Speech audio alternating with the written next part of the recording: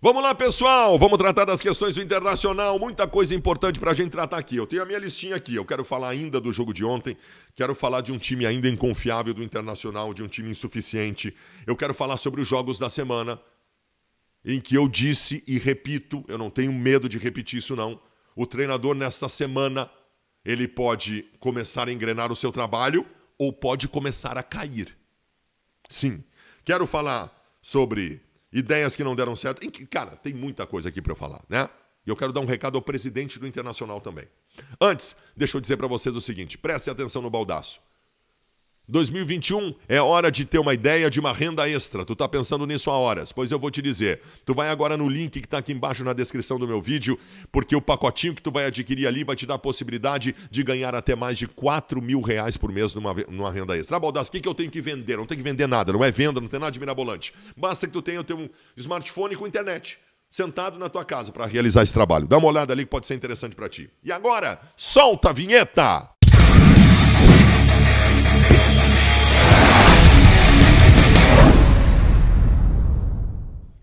Vamos nessa então. O Internacional ontem fez um jogo terrível, um jogo ruim, em que o gramado ruim explica só um pedacinho, não explica tudo, e é importante que a gente saiba disso. Aliás, nós temos que ter convicção do seguinte: nós fizemos alguns jogos decisivos neste ano, importantes. Os mais importantes foram contra o Grêmio, que nós jogamos mal, contra o Always Red, que nós jogamos mal, contra o Tátira, que nós jogamos muito bem, e ontem que nós jogamos muito mal. Ou seja, dos quatro jogos, nós perdemos três, jogando muito mal. E isso é muito importante, e nós temos que tratar sobre isso.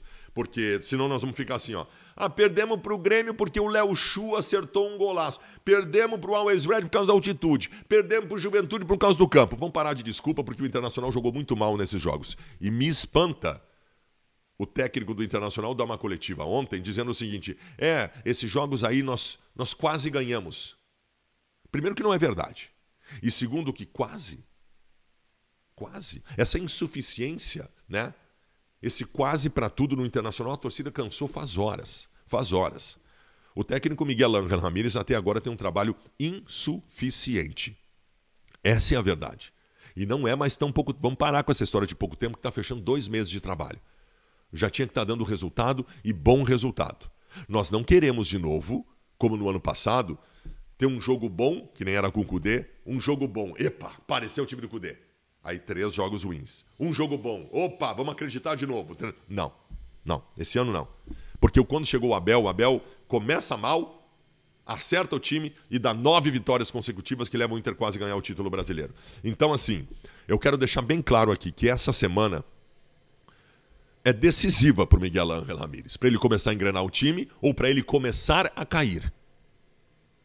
Eu estou falando sério. Nós temos um jogo contra o Olímpia que nós temos que jogar bem e vencer. Se não ganhar esse jogo, cara, é muito grave. E no final de semana, embora exista, eu já vi narrativa ontem no Twitter. Eu já vi narrativa no Twitter ontem. Vou manter minha coerência. Se eu digo que o Campeonato Gaúcho não é importante, não me interessa se não for a final do Campeonato Gaúcho. Vamos parar com essa palhaçada. Porque no Campeonato Gaúcho, primeiro, nós pegamos o Grêmio, pegamos o Juventude, pegamos grandes times do Campeonato Gaúcho para mostrar futebol. Não interessa que é Campeonato Gaúcho. Segundo, é uma porcaria o Campeonato Gaúcho, mas tu é obrigado a chegar à final de uma porcaria. Se o Inter não chegar à final do Campeonato Gaúcho, eu vou dizer agora aqui, é uma catástrofe, é um vexame, é um constrangimento e é gravíssimo. Então, assim, esta semana é muito importante para a gente começar a ser definitivo em relação ao trabalho do Miguel Ángel Ramírez. E o pior, se ganhar do Olímpia e se for a final do Campeonato Gaúcho, não vai estar tá mostrando que deu tudo certo, vai estar tá fazendo a obrigação. Nós queremos ver bola. Gente, assim, a grande questão é a seguinte: nós precisamos confiar no time do Internacional. Nós precisamos confiar no time do Inter. Ninguém aqui estaria ah, ah, encontrando problemas se o Inter, com dois meses de trabalho, tivesse ainda apresentando um probleminha aqui, um probleminha ali, um probleminha tal. Não tem problema, mas numa evolução. Essa evolução ela não se confirma. Essa evolução não se confirmou até agora. O Internacional fez uma partida patética ontem, de tentativas completamente equivocadas do treinador. Nós somos engolidos taticamente pelo Juventude ontem. Porra, no segundo tempo ontem o treinador botou um lindoso, cara, para resolver alguma coisa, jogando dourado para a zaga. Aliás, para isso foi até bom que tenha acontecido, para acabar com esse negócio de algumas pessoas acreditarem em improvisações. O Dourado é um péssimo zagueiro. O Dourado é um fabuloso volante, é um péssimo zagueiro. O Dourado não tem recuperação para ser zagueiro.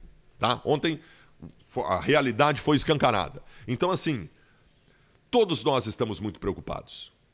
Não é problema de grupo, não tem que contratar jogador para contemplar esquema de treinador, tem que fazer o que está aí funcionar. Tem que fazer o que está aí funcionar. E eu quero aqui deixar bem claro e dar um recado ao presidente do Internacional, Alessandro Barcelos. Olhando para ti, presidente. Olhando para o senhor. O presidente tem que se tratar com respeito. Não é para ti, é para o senhor. Olhando para o senhor, presidente. E lhe dizendo, e tendo a certeza que eu falo para a imensa esmagadora, falo pela imensa esmagadora torcida do Internacional. Presidente Alessandro Barcelos, nós respeitamos homens de convicção. O senhor é um homem de convicção. O senhor apostou num projeto com esse treinador. Né? O senhor disse em determinada entrevista: olha, eu não, eu não tenho um projeto para uma corrida de 100 metros, eu tenho um projeto para uma maratona. Ok. Mas, presidente, se o teu corredor da maratona provar nos primeiros 100 metros que não dá, troca. Presidente Alessandro Barcelos, não sente em cima da sua convicção e perca um ano por conta dela. Nós não vamos aceitar isso. Presidente Alessandro Barcelos, se a sua convicção se mostrar equivocado, nem é equivocado, sua convicção não era equivocada, mas ela pode ter se mostrado que não dá certo. Se, se, se, se os fatos mostrarem que a sua convicção não dá certo, muda a convicção.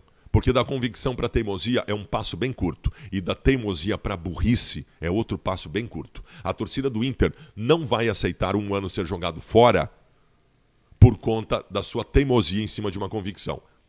Vamos ver. Agora, o mês de maio agora ele é definitivo para a gente saber se as coisas vão caminhar para o positivo ou não. E se não caminharem, presidente, tenha coragem. Tenha coragem e mude. Só isso que nós lhe pedimos. Grande abraço.